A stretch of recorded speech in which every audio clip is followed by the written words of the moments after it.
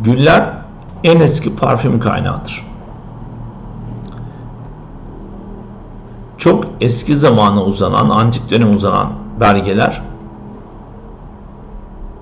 bu kokunun en güçlü türü olan gül yağından bahsetmektedirler.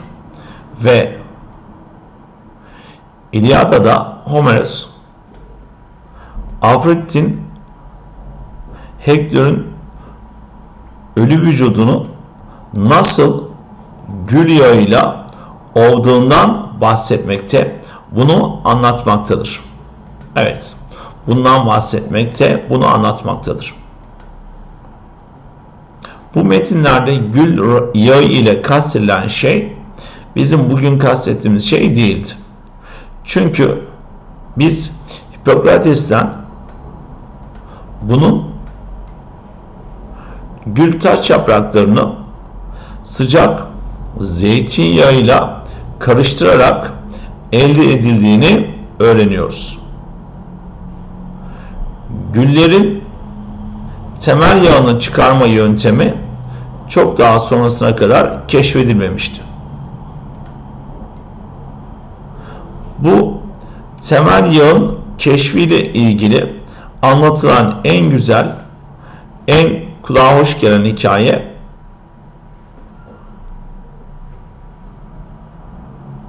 havanın bu güzel kokuyla dolması amacıyla sarayın son derece büyük bahçesinde kanalların içerisine gül suyunu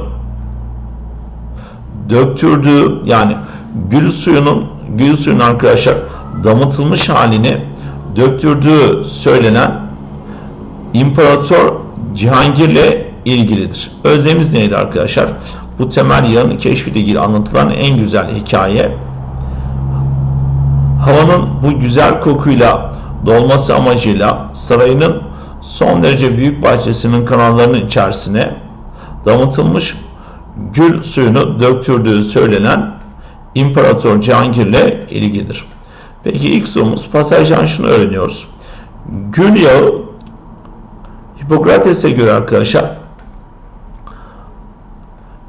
gül taç yapraklarını sıcak zeytinyağı ile karıştırarak elde ediliyordu. Evet baktığımız zaman arkadaşlar şurada aynısını Hipokrates'ten öğreniyoruz. Yani Hipokrates'e göre evet nasıl elde ediliyordu arkadaşlar? İlk derken gül yağını kastediyor. Yani gül yağının yapılışından bahsediyor arkadaşlar. Nasıl?